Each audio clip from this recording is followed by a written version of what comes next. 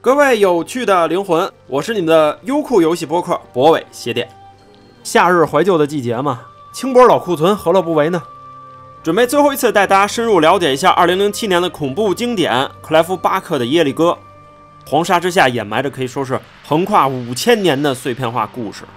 核心都是围绕着人类战士牺牲自己对抗上帝的失败造物出蛋者的经历。三年多前，我讲了这个主线故事和他那个惊天地泣鬼神的结局。那上期视频我认真讲述了主角团耶利哥小队的七名成员以及他的设定，而这次咱们就以追溯的方式拼凑出五千年的时间长河中究竟有多少野心的人类势力盘算着在这个沙漠中的古城释放出弹者，以获取黑暗力量的恩赐。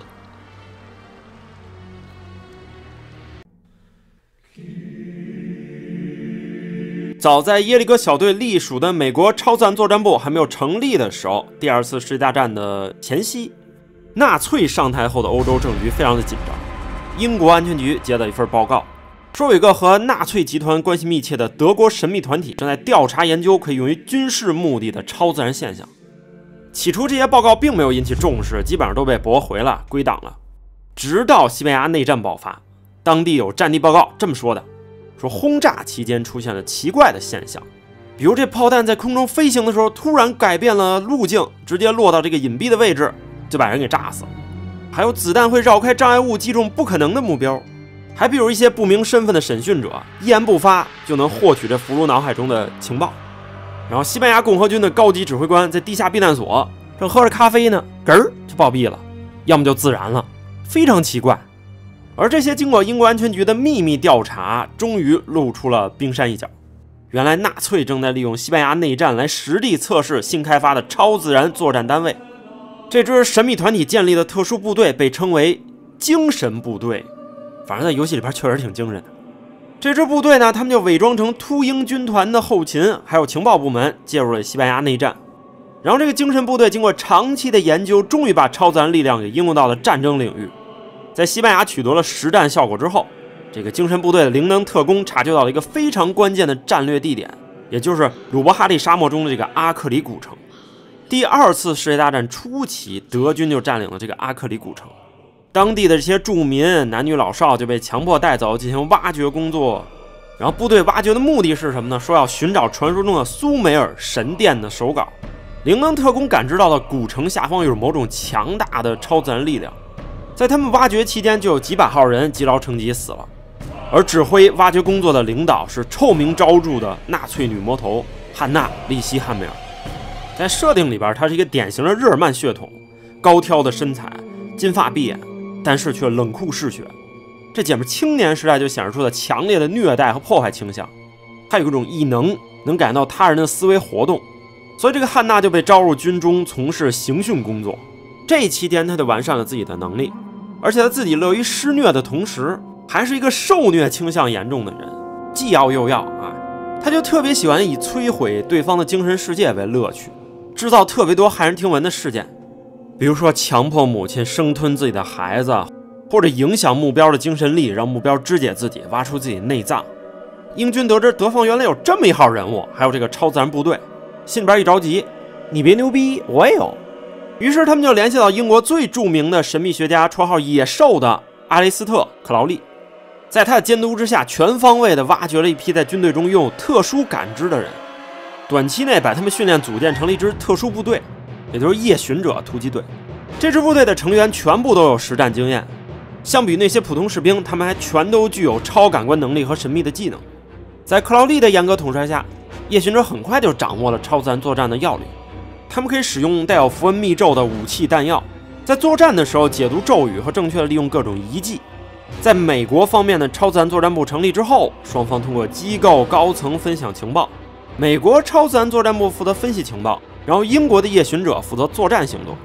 为了赶上德国人的步伐，夜巡者就派遣了帕特·巴克兰少校的突击队前往沙漠中的阿克里古城。这支夜巡者小分队也是七人配置。目的是消灭汉娜·里希汉梅尔和他的精神部队，但是夜巡者小队抵达阿克里古城后没多久就断联了，女魔头利希汉梅尔的精神部队也消失了，从此就在现实里找不到踪迹了。而自那之后，德军在阿克里古城的挖掘资料也全部都丢失了。过了没几年，随着德军战败，阿克里古城就被盟军占领了。夜巡者和超自然作战部合作，在这个古城中建立了一个前哨，目的就是勘测这个古城下方的维度裂缝，也就是耶利哥游戏一开始咱们这个主角团去到的第一个场景。那么这支英国的夜巡者突击队到底遭遇了什么呢？原来是他们在抵达阿克里古城之后，七人小队与德国精神部队展开了大战，虽然获得了暂时的胜利，但是他们才意识到这个女魔头利希汉梅尔已经打通了密盒的维度裂缝，并且进入了密盒内部的世界。企图释放初弹者，为了阻止纳粹的阴谋，夜巡者七人小队也冒死进入了密盒世界，并且在后续把1942年的阿克里古城也封印到了密盒里，所以他们在现实维度中就消失了。上期咱们就讲到，密盒中的世界不适用于任何现实世界的概念。其实，在这儿给大家看一段这个夜巡者的片段，大家都知道。You all might want to sit down for this. Nothing makes much sense here in the Pixies. None of the normal rules apply. Death, hunger, day, night. If you die, the flies take you, and when you return, you may look human, but you belong to the firstborn. You know about the firstborn, right? God creates this thing, discovers it's too bloody powerful, and decides to wipe it off the face of the earth. But he can't kill it, so he creates the Pixies, this box, if you like. It's like a little slice of reality was carved out as a toy box, and we're the toys. It doesn't go away, mind you. It just sits, and it waits for some poor, disillusioned bastard to set it free. But this time, it grows larger, and when mankind manages to shut it away again, it takes a little piece of our world back to its prison. And of course, it waits, and it grows stronger. So the next time it gets out, It takes more of our world back with it. And each time, seven poor bastards blessed with a conjuring are sent into the breach to strike at its heart and send it away. Until the next time, that is. 也就是说，进入密盒世界中的人类，只要死掉，就被出弹者的力量改造成血肉模糊、失去人性的活尸傀儡。一九四二年，夜巡者小队进入密盒的裂缝，然后就被永远的困在了里边。他们在这个一九四二年的时空中，要不断的和黑暗势力作战。在这个没有时间概念的地方，一旦死掉，就变成黑暗傀儡。而这个初弹者被困在密盒深处的基准罗盘中，也就相当于这个密盒最原始的那一层。他作为大反派，从一开始就在等等等等被吸进来的人类把自己给放出去。女魔头里希汉梅尔和他的精神部队士兵全都已经变成了初弹者的爪牙，而夜巡者小队也要永恒的守在密盒最新的这一外层，阻止有可能在未来出现的新裂缝。每次裂缝出现的时候，密盒就会带走一部分现实的时空，拓展它内部的世界，叠叠叠叠叠。其实就像他们打那个比喻套娃一样，一层盖一层的，越来越大。夜巡者小队进入密盒之后不久，就被传送到了一个中世纪的神庙中，遇到七百多年前同样为了阻止初弹者的圣殿骑士团的一个修士理查德·德格雷。这理查德·德格雷在密盒中已经坚守了七百多年，他其他六个同伴不是疯了死了，就是被关在某地方了。然后这个格雷修士就向小队讲述了自己当年对抗黑暗的经历，这咱们就得再往上倒，倒到十三世纪初了。十字军东征横跨了将近二百年的历史，可以说是人类历史上最血腥的长期冲突之一。一二一二年前后，欧洲基督教势力依然企图从穆斯林手中夺回圣城，而这个时候，一个叫马尔修斯·圣克莱尔的主教，他饱受自身欲望的困扰，因为他患有某种肉体疾病，苦修多年，甚至还无法控制自己的食欲。他心中始终带有一种对永生的贪恋，尽管他出于身份终日严格的忏悔。但是依然无法摆脱这个永生的欲望，就这么着，一天一天的，他就担心自己的灵魂会被投入永恒的烈焰中，于是他就前往了梵蒂冈，寻求救赎。梵蒂冈图书馆藏有世界最多的教会书籍和手稿，圣克莱尔就在这个教廷的图书馆中翻阅了大量神秘典籍，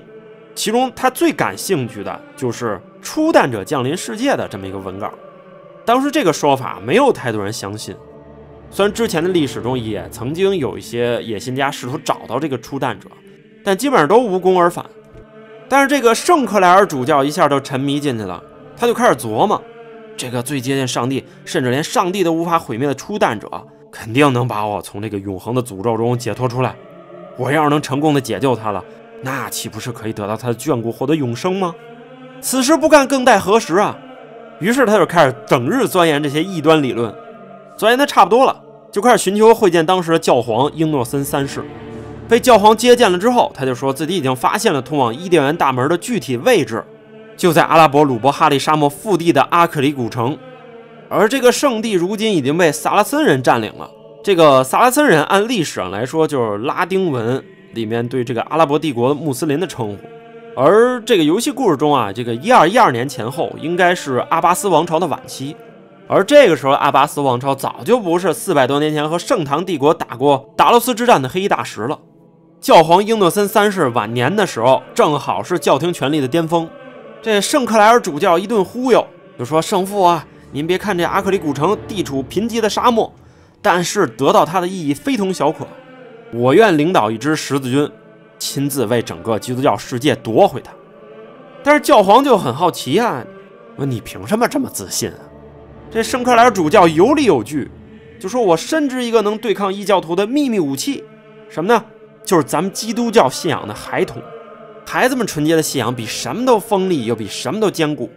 这力量简直刀枪不入啊！您只要帮我选择一大批合格的孩子，外加上一小部分成年十字军战士带头护航，不出数月。阿克里古城定会回到基督的怀抱。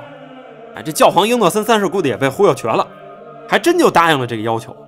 然后短时间内，教廷就从欧洲大部分地区征了一批符合要求的孩子，很多都是穷人家庭的，男孩女孩都有，规模已经上万了。这些孩子都是自愿以基督的名义作战，但是宗教归宗教，现实归现实。问题是从欧洲核心地带集结，再到这地中海沿岸批量登船。再横跨大半个地中海，抵达阿拉伯半岛沿岸，这对于成年人来说都是一个生死考验，更别说这帮连盔甲都拿不动、剑都举不起来的孩子们了。就算您成功抵达了阿拉伯半岛，碰不到敌人，您还得横行沙漠呢。所以说，这简直就自杀行为。这个圣克莱尔主教他壶里边藏着什么药，别人也真心不知道，只有他自己明白。纯真的孩子好控制啊，就算把他们拉过去当炮灰献祭了，也足够打通密合维度缝隙了。而这个孩子们路上就算害怕，心里边唯一的念想也是上帝自会庇佑我。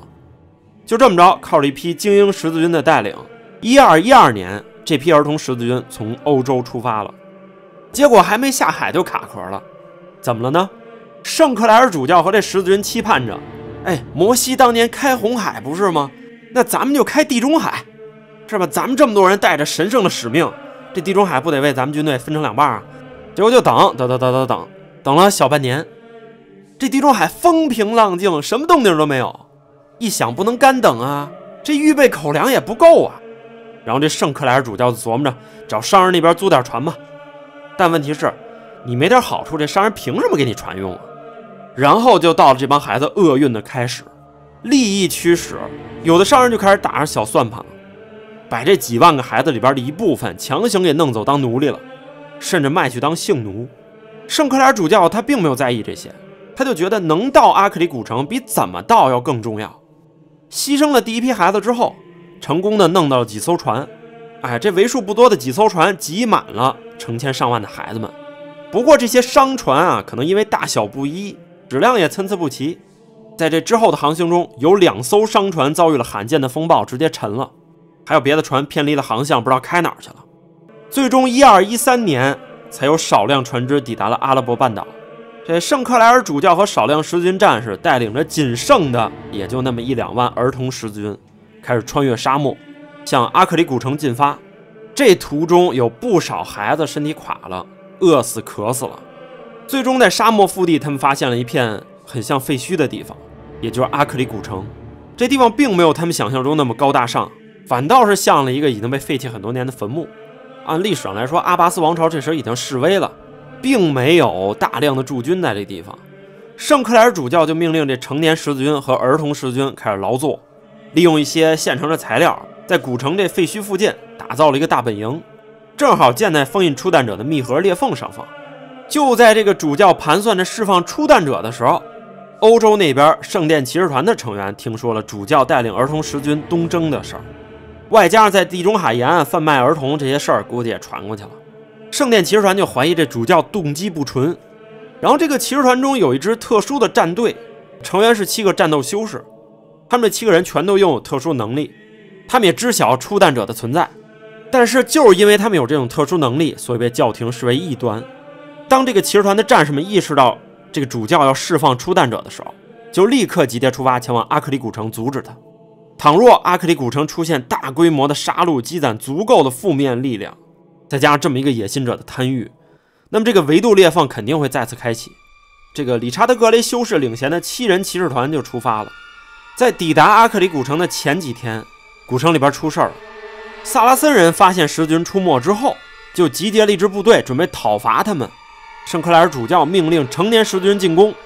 但是这些十字军战士见证了一路上的遭遇，外加上疲惫、饥饿，干了好多活，根本就不想为他打仗，而且觉得他就是一疯子。这圣克莱尔主教说了：“使唤不动你们是吧？那我让孩子上。”他就命令仅剩的一万多儿童十字军去大本营的外围对抗敌人。然后这帮儿童十字军出去列阵，萨拉森人一看都傻眼了，这才几年没见啊，这老石子儿现在这么不地道。这么老远跑过来童子军团建来了，他们当时第一想法是劝降，但是遭到主教的拒绝。于是萨拉森人的军队就对儿童十字军展开了碾压式的屠杀，就可以说当天这帮孩子们就全员祭天了。这一幕把大本营剩下的成年十字军都给吓傻了。这圣克莱尔主教更是吓得直接躲进大本营这小教堂地下，祈祷请求赎罪了，然后就再也没有出来。但是萨森人并没有一鼓作气继续拿下十军的大本营，在屠杀之后的间歇，这成年十字军忍着恐惧就开始收集废墟外围的尸体碎块，填埋在废墟下方这地穴里，要么就是把尸体给焚烧掉。但是没过多久，十字军就发现这些儿童的尸体冒着黑烟就飘在空中，很快就变成了像腐尸一样的状态，开始张牙舞爪地袭击活着的同伴。很明显，初诞者的力量让这些惨死的儿童变成了自己的爪牙。这些儿童十字军也带着怨恨开始狂杀异教徒，就把之前杀害自己的萨拉森人给团灭了。而圣克莱尔主教以为是自己的祈祷得到了回应，以为这些孩子们被上帝复活了。但是没过多久，他就被这些儿童的实体恶灵给虐杀了。据说惨叫声持续了好几天。那以上这些也就是短短两三天内发生的事儿。当七人圣殿骑士团抵达阿克里古城的时候，发现这里几乎就没有活着的人了。骑士团的战士们听到了地下室的惨叫，得知主教可能在里边，于是就把地下室的入口给封了。圣克莱尔主教死后，也被初诞者的力量转化成了恶魔一样强大的尸体。而就算变成傀儡的主教，依然希望通过安息儿童的亡魂，让自己得到救赎。但是他自己可能也没意识到，自己确实已经达成了永生。伴随着密盒维度裂缝的开启，初诞者的力量再次溢出到了现实。一二一三年的阿克里古城时空被这七人骑士团给成功的封印了，也就成了这个密盒世界的最新一层。而骑士团绕开了圣克莱尔主教，准备以特殊的能力净化这些恶魔化的儿童。就算自己驱散了这些儿童的怨灵，过不了多久，这苍蝇飞到他们的尸块上，这些尸块很快就会被黑暗力量重组。然后他们又活过来，再次厮杀任何活人，而那些死去的成年战士也变成了傀儡，就像失心疯一样杀戮任何活着的异教徒。当然，可能所有人对他们来说都是异教徒。于是，骑士团的战士们就通过裂缝进入了密盒更深一层。他们居然遇到了一千多年前同样试图阻止出蛋者的罗马帝国某百夫长。在知晓了密盒原理之后，骑士团的战士们就意识到自己永远也出不去了。他们唯一的使命就变成了在密盒世界中想办法阻止出蛋者，把自己永远的留在了密盒永恒的一二一三年时空，没有饥饿，不会疲劳，没有时间概念，也不会变老，在密盒的这一层时空中，永远的对抗那些死了又活、死了又活的实体恶魔。有的骑士团战士坚持了几年，失去理智了，而有的更久，坚持了几个世纪，但是也逐渐的失去了理智。失去理智的战士们互相攻击、折磨，甚至自杀，最终也变成了初诞者的黑暗工具人。这其中有一位叫威廉·奥塞尔的修士，足足熬过了五百多年，精神才崩溃。他就开始质疑自己的信仰，包括骑士团，甚至上帝本身。而他的独神行为激怒了仅剩不多的伙伴，于是他们就把这个威廉·奥塞尔用铁链和枷锁给铐住，严刑拷打，把钉子扎到他的头上。久而久之，这威廉也丧失了意志。在余后的几百年里，他就带着肉体的痛苦，开始了漫无尽头的冥想。也就是说，在这个世界中，不管你是死了也好，没死也罢，你只能永远被痛苦折磨。久而久之，七人骑士团只剩下了理查德·德格雷这个修士，他也保持着完好的肉身和相对的理智。不过，他在这几百年的折磨里，精神状态也不能说完全正常吧。直到1942年，英国的夜巡者小队再次进入密盒维度的时候，这位格雷修士把这个夜巡者当成了上帝的战士。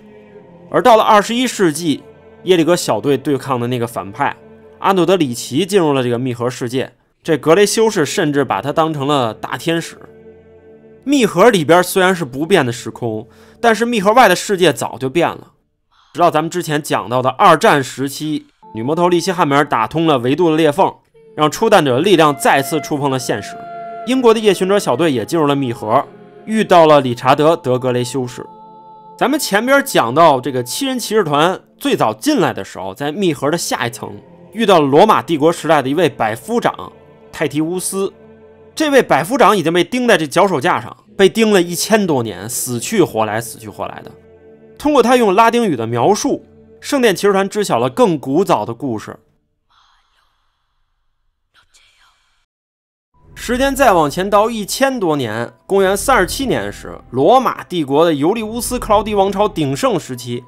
新的皇帝盖乌斯·日耳曼尼库斯，也就是卡利古拉·罗灵帝。这是一位暴君。那此时的阿克里古城地处罗马帝国东部一个行省，叫阿拉比亚，北方就紧邻着安息帝国。那我觉得这儿必须花两分钟，我好好订正一下，免得会有一些分不清架空和现实的朋友。这个游戏故事里边，这个阿克里古城和现实里边以色列北部那个中文译名阿克里或者阿卡的古城没有半毛钱关系。咱们现实那个阿克里古城是英文 A C R E，而故事里边这个是鲁伯哈利沙漠的后缀 A L K H A L I，而且这游戏里边说的明明白白的，它在阿拉伯半岛的鲁伯哈利沙漠北部，所以说在咱们这个世界现实中没有这座古城，没有这座古城，纯架空，反复敲打三遍。所以以后再有人说这个耶利哥故事里边这个是什么以色列的阿克里古城，你就直接告诉他别胡诌了。另外，这个游戏故事也是半架空的历史，它都低魔世界了，咱就别把它和现实世界对比了。现实世界里边，罗马帝国公元三十八年左右，这个灵帝卡利古拉统治的时候，压根没有真正占领过阿拉伯半岛的北部，而且那边基本上都是小国林立，至少也得是公元一零几年，澡堂子大拿图拉真在位的时候，才短暂占领了阿拉伯半岛北部，而且也不包括这个鲁布哈利沙漠。哎，所以说，只是在耶利哥这个游戏故事里，罗马帝国在公元三十几年占了阿拉伯半岛，而这个阿克里古城还被建成了这个沙漠行省的枢纽。然后，基本上咱们这游戏的时间线里边，裂缝每开一次，相当于密盒都会再吃掉一次阿克里古城，然后在现实维度里边又会变成废墟。我是后来视频做完之后，我觉得这点还是得补充一下。这片地区相当于一个流放地。统治阿克里古城的是一个地方总督卡西乌斯·维库斯，而这个人在上一任皇帝罗太宗提比略统治的时期是帝国核心地区的一个保民官。但是这个维库斯声名狼藉，整天痴迷酒池肉林，挥金如土，每天都在突破人类的下限。直到有一天，他开始吃人肉了，然后他就被判处死刑了，绞刑。不过这维库斯法外狂徒，人压根就不嘚你这套。因为人家跟皇帝私交密切，没事儿就一块吃喝玩乐，以至于就算犯了死罪，也能被这皇帝保下来。哎，结果这一年，罗太宗提比略死了，这维库斯心里边一膈应，一句拉丁语的完蛋操。不过下一位皇帝罗灵帝卡里古拉登基后，也没弄死他，就心想看在太宗面子上，我就给你贬到这个边陲省份做总督吧，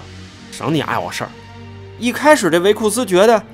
这什么他妈操蛋新皇帝，把我扔这鸟不拉屎地方，你还不干脆绞死我得了？哎，结果过去没多久，他就真香了，因为这边陲地区远离首都，而且当地人都比较贫困愚昧，他过去差不多就是他想怎么折腾也没人反得了，而且也没人管他，等于这个行省所有的人都是他的活体手办。这么一来，维库斯相当于在边境上当了一个土皇帝，然后他就疯狂敛财，没有中间商赚差价，取之于民，用之于己，连商队的车都要交保护费，三成归自己，七成全上交。这维库斯对当地残暴的统治，甚至连周围的安息帝国都对他避让三分。他就这么着无拘无束、残暴成瘾，把自己当成了掌管一切生杀大权的神帝。就这么着，有一天晚上，他做了一个梦，梦里边就感觉到一个远古的力量在召唤他。醒来之后，他就觉得自己梦到这是朱比特神，他就让自己的一个占卜师给分析，说：“你给我想办法弄出一个仪式来，我一定要联络这个神明的实体，好让我自己也在这个极乐天堂占有一席之地。”这个占卜者捯饬了好几天，回来就对这个维库斯说：“神明跟我说了，您要是想联络神本人，那您就得举行一场祭典，才能开启通往极乐之地的大门。祭典最佳的地点，可能也就是这阿克里古城的斗兽场了。而这个时候，远在罗马帝国的首都也不消停，有一位太宗提比略时期的禁卫军成员，也就是那个泰提乌斯，他也被贬到了阿拉比亚行省的阿克里古城。而且理由特别离谱，说这个禁卫军本来在太宗提比略统治时期是一个冉冉升起的新星，但是伴随太宗驾崩，灵帝一上台，他这个仕途美梦也就断送了。这位新皇帝就开始残暴嗜血的统治了。在灵帝统治时期，禁卫军被要求执行各种惨无人道的处决令，而且这大多数对象都是手无寸铁、莫名其妙的背了一个罪名的老百姓。有一次更是残暴到了极点。皇帝强迫让一位议员的女儿和一匹马发生关系，然后还说没有满足这匹马，怒不可遏，非要让这禁卫军的泰提乌斯当场处决这个无辜的女孩。泰提乌斯当场就拒绝了，结果这灵帝卡利古拉气的要把这泰提乌斯也一块处决了。这个时候，禁卫军的成员和一位保民官亲自替他求情。其实你可以看出很惨啊，替他求情，但是没有替女孩求情的嘛。这个灵帝卡利古拉一看这场面，也不好意思一意孤行了。想出一好辙来，说我现在杀你太便宜你了，我就干脆把你这反贼发配到边陲行省那阿克里古城，我把你扔到那维库斯那疯子的地盘，哦，我让他折磨你生不如死。然后泰迪乌斯就被贬到阿克里古城，负责做一些特别累的差事，就是保护商队进城。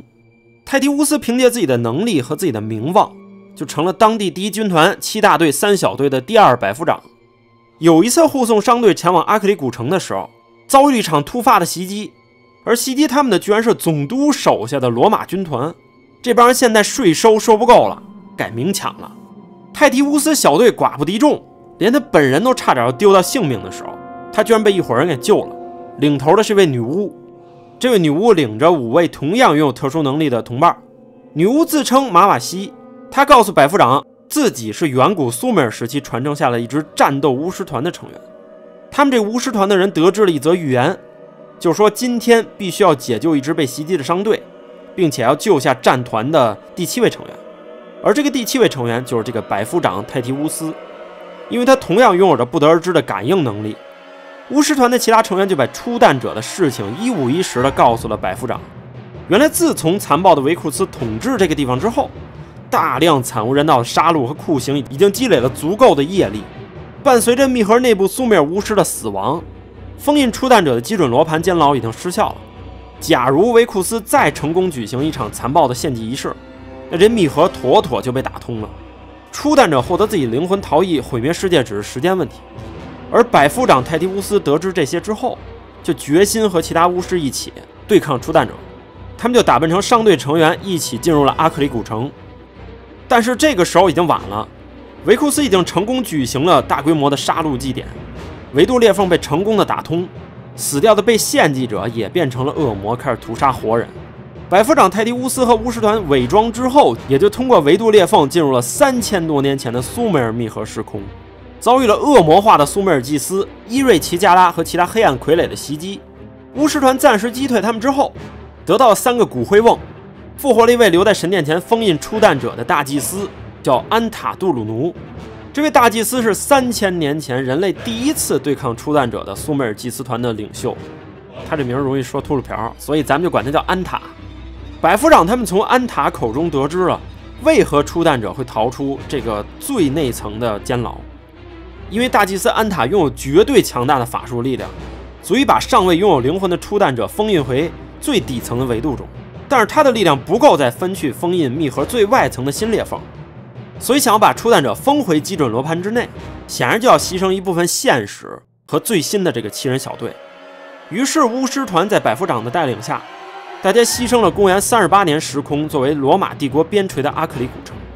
一起合力把这个时空变成密盒最外的一层。而罗马士兵和总督维库斯的势力都一起被封进了这密盒最新的一层。初诞者也被再次封印回了最底下的基准罗盘，在巫师团告别了大祭司安塔之后，回到了属于自己的那层时空，关闭了通向苏美尔时空的裂缝，而这样的代价就是百夫长在内的巫师团成员永远困在了这个时空，要面对杀不完的黑暗傀儡。最终，他们战败了，全员都被押送到了阿克里古城的宫殿，而此时维库斯总督已经通过释放初诞者，获得了黑暗力量的恩典。成为了一个体型更大的永生的食人巨无霸，然后他就开始折磨这些巫师团的成员，把他们折磨死之后，过不了多久，他们还会再次变成活生生的血肉傀儡，再次被他玩弄死，然后再复活，再被玩弄。而巫师团领头的女巫马瓦西被维库斯蛊惑之后，成为了他的一部分。我觉得大概率是被他吃掉了，但是凭借强大的精神力，这女巫马瓦西把残留的力量留在了维库斯身体内。把它做成了一个活着的密盒钥匙，正是因为女巫留了这么一手，才能方便从未来时空进入密盒的战士。你只要杀死这维库斯，你就能打通苏美尔那层的维度。而这个百夫长泰提乌斯就非常惨了，被维库斯下令钉在一个脚手架上，一次又一次的被钉死，一次又一次的复活。每次他被钉死的时候，心脏部位都会变成苍蝇飞进他的嘴里，再次把他复活。就这么着酷刑折磨了一千一百多年，他才遇到了下一次阻止出蛋者的圣殿骑士团。那么百夫长他们死之前进入的苏美尔时空那层发生什么了呢？咱们就要把时间退回公元前三千年左右。苏美尔众多城邦里边存在着一小部分异能者，这些人基本上都是城邦的祭司啊。这些能人构成了一支七人祭司小队，领头的是乌尔城邦的大祭司，也就是安塔杜鲁奴。他们都知晓初诞者的存在，并且时刻提防着他。而苏美尔文明某城邦一个强大的女祭司伊瑞奇加拉，在自己的一个梦中梦到了初诞者，被初诞者蛊惑，只要释放他，就可以被恩赐强大的力量。他就感应到了封印初诞者的密盒入口，大概就在阿拉伯半岛鲁伯哈利沙漠的腹地。这个伊瑞什加拉就集合了一支上万人的军队，长途跋涉抵达了沙漠中。在相应的位置凭空建造了一座像模像样的城市，最中心还有一个特别大的神殿，主要是方便释放初诞者用的。这个女祭司伊瑞奇加拉的小算盘就是找到一个合适的日子，让这几万名士兵集合在神殿周围，然后利用自己的血魔法瞬间把他们给献祭了，这样就可以打破密盒的大门，进入内部释放初诞者。伊瑞奇加拉成功的献祭了这些士兵，打通了裂缝。而这个时候，大祭司安塔杜鲁奴他们七个战士也抵达了这个地方，其他的六个人进入了密盒内部作战，拖延敌人，而安塔杜鲁奴自己留在神殿裂缝之外。他本人力量非常强大，以自己的灵魂为代价，足以封印这个裂缝了。但是他知道自己封印的后果就会献出自己的肉体，为了防止出现闪失，他就把这座新城市在内的部分全给封印进去了。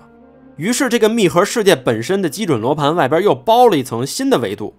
只要这一层的外壁不被从外部打通的话，那么初诞者和他的爪牙也是逃不出去的。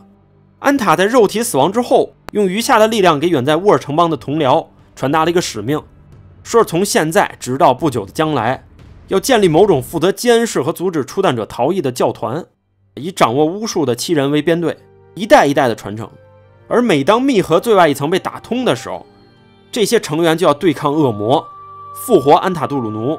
然后再把受到影响的新时空部分封印进一个新的密盒外层中。这就是所谓的神之封印行动、神印行动。安塔杜鲁奴的祭司战友全都战死在了密盒世界，被伊瑞奇加拉利用初诞者赋予的黑暗力量复活，变成了傀儡的形态。这些我是在三年前那视频里边讲过。而大祭司安塔自己也耗尽了灵魂。在他肉体撕裂死亡之后，不久就会复活，所以在伊瑞奇加拉的控制之下，六位祭司傀儡，哎，就把昔日老战友的尸体分成了三个部分，放在了不同的盒子里边，永恒的守护他们，以阻止未来时空的人类战士复活大祭司安塔杜鲁奴。而即使灵魂力量减弱了，初弹者逃出最底层的基准罗盘，他也没办法立刻逃出密盒世界，只能靠蛊惑现实世界的野心者再次积攒黑暗力量，从外部的现实打破维度，才有可能进到这个最外层。而有了安塔杜鲁奴传递出去要建立的秩序，未来的人类文明注定会有怀着同样必死决心的战士团重新复活安塔杜鲁奴，然后再牺牲自己，把自己封印进新的一层。但是代价就是会像轮回一样。而且你每隔多少年多封一层时空，都要面临更大的难度。下一批进来的人难度会比上一批要大很多，而且密盒内的世界也会因为更多的尸体堆积变得更加腐化。这种无尽的死亡和污染叠在一起，还诞生了巨尸比蒙这样特殊的怪物。所以说，这样一层叠一层，似乎也并不能真正起到一劳永逸的效果。因为但凡未来有一次闪失，就前功尽弃了。呃，所以说这五千年发生了什么？就我觉得啊，已经靠这三年多的这三期视频讲得清清楚楚、明明白白了。我觉得也可以说是网上最详细的耶利哥系列视频了。哎，但是你可能看了我之前那个老视频，耶利哥小队并没有遵循这个轮回。德尔加多觉得大伙儿被骗了，他不愿意小队不明不白就困在里边，然后他就杀了安塔杜鲁奴。小队成员进入了密盒最深处，和初弹者展开了终极一战。考虑到耶利哥这个故事的结尾戛然而止，因为他这个制作组已经没有了，所以说这个耶利哥小队后续的一切，他们的命运也变成了未知。哎，作为对游戏的致敬，我觉得我也应该戛然而止，不带碰了。